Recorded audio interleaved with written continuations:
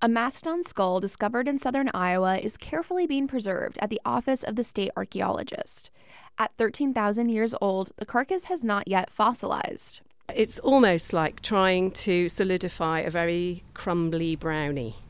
And in case you're wondering, yes, it does have a smell. The skull was excavated thanks to a community effort in Wayne County to gather funds and resources.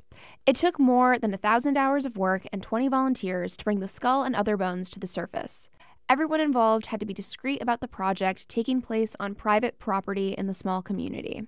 This is where I have to just compliment some of the local folks who volunteered.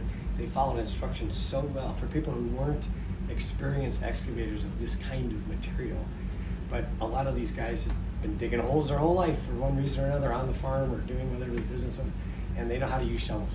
And uh, they use them with great care. When the preservation is complete, the mastodon bones will be on display at the Prairie Trails Museum of Wayne County. Visit IPR.org to learn more.